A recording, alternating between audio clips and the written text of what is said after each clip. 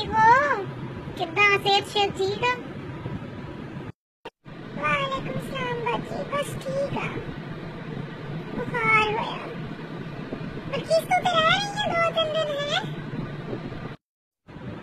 ਮੈਨੂੰ ਤਾਂ ਚੰਗੀ ਭਲੀ ਲੱਗਦੀ ਤੇਰੀ ਮਾਂ। ਅੱਲਾ ਸਿਹਤ ਦੇਗੀ।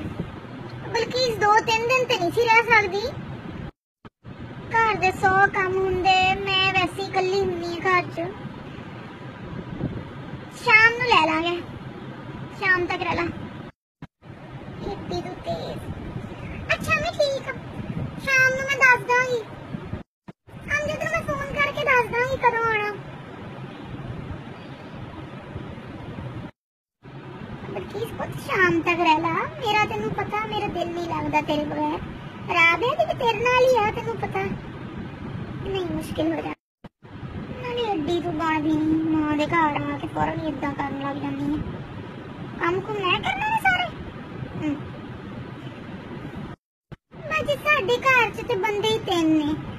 ਹਮ ਰਾਤ ਨੂੰ ਆਂਦਾ ਮੈਂ ਤੇ ਰਾਬੀਆ ਹੁੰਦੀ ਹੈ ਤੇ ਬਲਕੀਸ ਨਾਲ ਹੀ ਦਿਲ ਲੱਗਦਾ। ਸ਼ਾਮ ਨੂੰ ਆ ਜਾਣਾ ਸੀ ਲੈਣ। ਆਪੇ ਕਰੂ ਆਪਣੇ ਬੰਦੇ ਦੇ ਕੰਮ। ਮੈਂ ਤੇ ਵੈਸੇ ਹੀ ਬੁੱਢੀ ਮੇਰੇ ਕੰਮ ਹੀ ਨਾਲ ਹੀ ਕਰ ਦੂ ਇੱਕ ਨਾਮ ਦੀ ਰੋਟੀ ਪਕਾਉਣ ਨੂੰ ਕਿਹਨੂੰ ਇਹਨੂੰ ਜੜਾ ਨਾ ਕੋਈ ਮਸਲਾ ਪੈ ਜਾਣਾ ਮੌਤ ਪੈਂਦੀ ਹੈ। ਠੀਕ ਨੂੰ ਕਿਹਾ, ਫੋਨ ਕਰ ਦਾਂਗੀ, ਤੁਸੀਂ ਕਿਉਂ ਟੈਨਸ਼ਨ ਲੈਂਦੇ ਹੋ? ਮੇਰੀ ਪਿਆਰੀ ਅੰਮੀ। ਤੁਹਾਨੂੰ ਤੇ ਪਤਾ ਅੰਮੀ, ਮੇਰਾ ਵੀ ਦਿਲ ਨਹੀਂ ਲੱਗਦਾ ਤੁਹਾਡੇ ਬਗੈਰ, ਪਰ ਅੰਮੀ ਬਿਮਾਰ ਨੇ।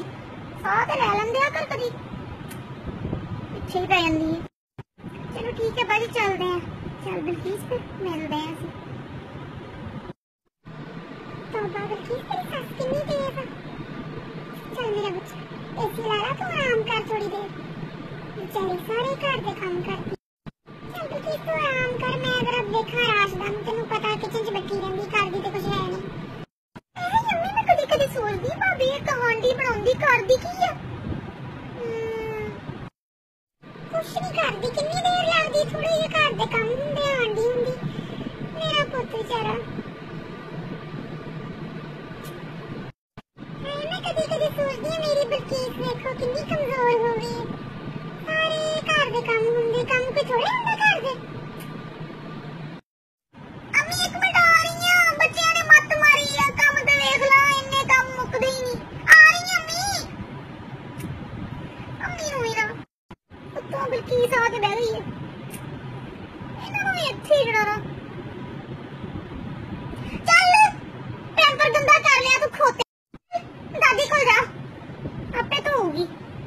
ਆ ਕੇ ਫੁੱਫੀ ਬਹਿ ਗਈ ਹੈ ਉਹਦੇ ਕੋਲ ਕਰਾ ਲਾ ਫੁੱਫੀ ਕੋਲੋਂ ਜਾ ਮੇਰੇ ਬੇਟਾ ਫੁੱਫੀ ਫੁੱਫੀ ਕੋਲ ਜਾ। ਬਲਕੀਸ ਮੈਂ ਤਾਂ ਤੈਨੂੰ ਹੀ ਵੇਖੀ ਜਾ ਰਹੀ, ਕਮਜ਼ੋਰ ਹੋ ਗਈ ਹੈ ਕੀ ਹੋਇਆ? ਹਾਏ ਹਾਏ ਚੱਕਰ ਹਾਏ ਹਾਏ ਆਪਣੀ ਭਾਬੀ ਦਾ ਹਾਲ ਚੈੱਕ ਕਰ ਲੈ ਬਲਕੀਸ ਤਿੰਨ ਨਿਆਣੇ ਨਹੀਂ ਸਮਝ ਜਾਂਦੇ। ਸਾਡੇ ਜ਼ਮਾਨੇ 'ਚ ਸੱਤ ਸੱਤ ਹੁੰਦੇ ਸੀ। ਬਲਕੀਸ ਅਸੀਂ ਤੇ ਆਪਣੇ ਨਹੀਂ ਸਮਝਦੇ ਸੀ। ਤੇ ਸੱਸ ਦਾ ਨਿੱਕਾ ਵੀ, ਉਹੀ ਬੋਸ ਹੁੰਦਾ ਤਾਬਾ ਕੀ ਬਲਕੀਸ ਛੇਤੀ ਕਰ ਮਸਤਾ ਚੁੱਕ ਆਪਣਾ। ਅਮਜਦ ਬੈਠਾ ਗੱਡੀ 'ਚ, ਬੋਲ ਰਿਹਾ। ਮੈਨੂੰ ਕਿਹਾ ਮਾਂ ਦਾ ਹੁਕਮ ਬੋਲਣਾ ਤੂੰ।